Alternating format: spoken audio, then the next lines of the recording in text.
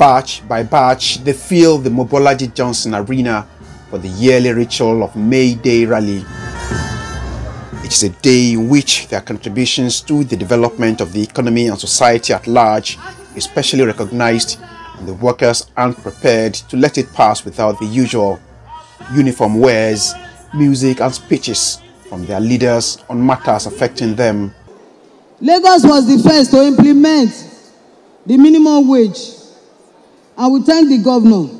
But sir, we have to tell you that the economic situation and the negative impact of COVID-19 has already eroded the 30,000 and 35,000 minimum wage. The catalog of worsening economic conditions spiraling hike in transportation fare, most especially in Lagos, to and from workplaces, skyrocketing prices of goods, most especially food items, high cost of living, landlords have increased the house rent. It is on note that the Trade Union Congress of Nigeria has set up a political commission at this time to see to it that comrades, workers all over Nigeria are involved in the process of democracy, the electioneering process that determines who gets what office.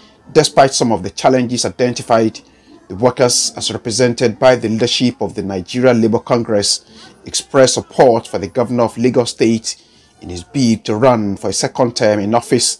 We thank God that they have given you the second term uh, ticket. And for that, the workers of Lagos State will stand with you. It is one endorsement that means much to Mr. Sanwo-Olu, as his reaction shows and even his speech on the podium. Fellow Lagos State workers, I'm also pleased to note that our ongoing reforms in the transportation sector will help to reduce the economic burden that you all have. The workers of Lagos State and expand the opportunity available to you and your family for safe and comfortable commute. We are set to build on the gains of our BRT initiatives and to also ensure that our commitment and ensuring that the red line and the blue line are completed before the first quarter of 2023 is unreversible. More speeches pour in, including one from the representative of Nigeria's Minister of Labour and Employment, Chris Ngige. The labour movement have been the voice of the workers in demanding their rights.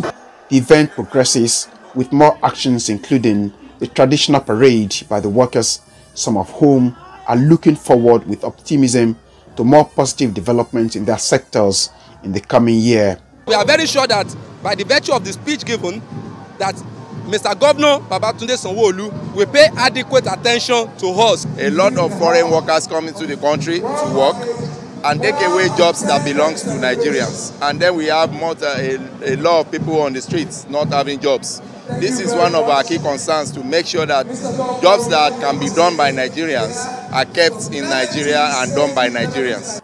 As the event winds down and the workers disperse to face their different tasks before they gather for another celebration next year, they are hopeful that the general working environment will improve significantly, not just to enhance their productivity, but also to ensure continuous industrial harmony and consolidate on the gains of Nigeria's democracy in the last two decades. Tokunbo Oyetunji, Arise News, Lagos.